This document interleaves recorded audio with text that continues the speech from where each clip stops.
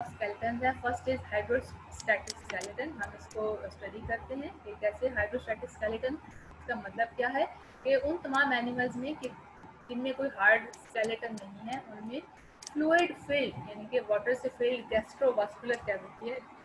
तीसरा हम एग्जांपल लेते हैं सी एनिमल की। या फिर हम अर्थवर्म की बात करते हैं, ठीक है? वी ऑल नो अर्थवर्म कैसा होता है।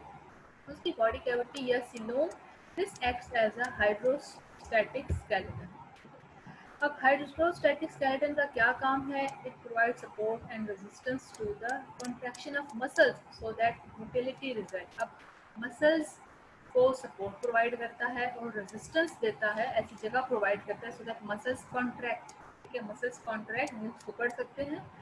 उनमें एक रिजिडिटी आ जाती है फिरनेस आ जाती है, जिसकी वजह से बॉडी उनकी मूव करती है। मैं आपको आगे एक्सप्लेन करती हूँ कैसे होता है।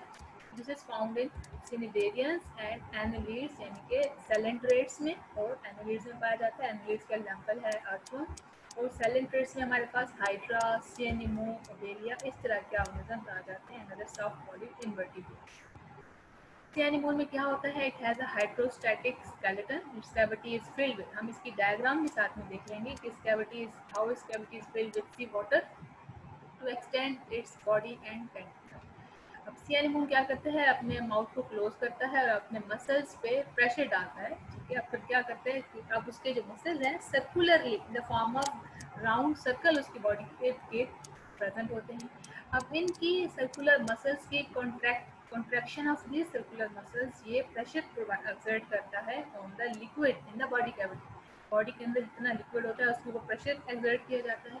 तो वो जो प्रेशर फोर्स होती है, ये बॉडी को फिर प्रोवाइड करती है फोर्स टू मेंटेन इस अपराइट स्टेचर यानी कि वो जिस फॉर्म में खड़ा होता है उसी फॉर्म में वो खड़ा रहता है या मूव कर सकता है। दिस इज़ हाउ एक एक इसकी जो बॉडी का पूरा पॉस्चर है या वो उसकी बॉडी का जो सरफेस है वो उसको ऐसे मेंटेन रखा जाता है। इसके बाद है अर्थवर्म अर्थवर्म में भी ऐसा ही होता है। हाइड्रोस्टैटिक स्केलेटन Uh, कैसे इसमें है consist of fluid filled compartments separated by septa हमें पता है कि इसके जैसे हमने देखा था इसके होम्योस्टेटिक्स वाले चैप्टर में कि कैसे उसकी बॉडी में सेगमेंट्स होते हैं, ठीक है?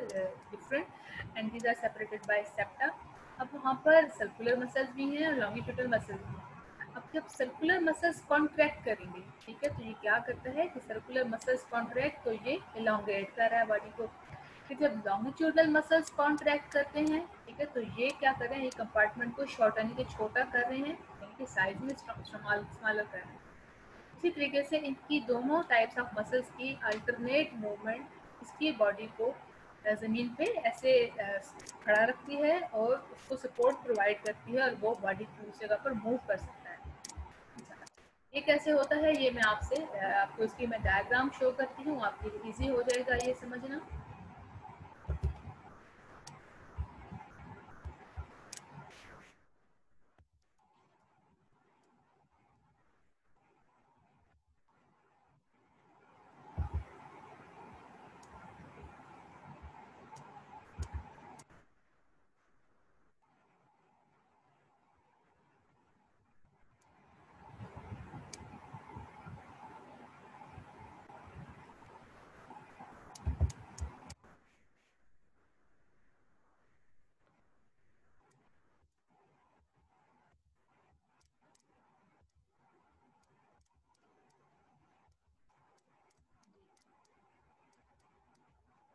डायग्राम में आप ये देखें कि अच्छा ये है अर्थम, ये है first of all sea anemone ये देख लें, ये इसकी बॉडी है सर्कुलर मसल पाए जाते हैं इसकी बॉडी पे, ये अपना माउथ वाटर अंदर फिल करके माउथ को बंद करता है और उसको प्रेशर एक्सर्ट करता है लिक्विड इन ये इसकी गैस्ट्रोवास्कुलर कैविटी इसकी बॉडी के अंदर पाई जाती है, ठीक?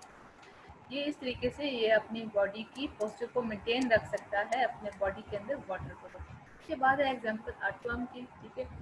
अब क्या है कि ये इसके सर्कुलर मसल्स हैं, ये देख लें, ठीक है? और ये इसके लॉन्गिट्यूडनल मसल्स हैं मतलब जो लेंथ के साथ साथ। अब फ़र्स्ट ऑफ़ ऑल हमने कहा कि कैसे इसके सर्कुलर मसल कॉन्ट्रैक्ट कर रहे हैं और उसकी बॉडी जो है वो लॉन्ग हो रही है, ठीक है? जैसे देखें लंबाई के रुख पर इसकी ऐसे चौड़े हो रहे हैं और उसकी बॉडी को स्मॉल कर रहे हैं कॉन्ट्रैक्ट कर रहे हैं फिर उसके बाद है लॉन्गिट्यूडनल मसल जब कॉन्ट्रैक्ट कर रहे हैं तो इसकी बॉडी लेंथ में शॉर्ट हो रही है। लेंथ में शॉर्ट हो रही है और सर्कुलर मसल के रिलैक्स होने की वजह से उसकी बॉडी वाइडन हो रही है। इस तरह से ये इसकी यहाँ पर ये देख लें, ये यहाँ पर ये इसकी बॉडी थोड़ी सी वाइडन है और शॉर्ट है। यहाँ पर इसकी बॉडी स्लिम है और long so this is the way ये एक लहरों की फॉर्म में एस शेप देखिए मूवमेंट में ये अपनी बॉडी को आगे की तरफ़ नीचे पेड़ सीटा है, यानी कि एक ऐसे सपोर्ट उसको ज़मीन पर अटैचमेंट के लिए प्रोवाइड करती हैं ये सीता, ताकि ये आगे की तरफ़ मूव कर सके। This was all about hydrostatic skeleton tomorrow इनशाला next topic that is exoskeleton okay students Allah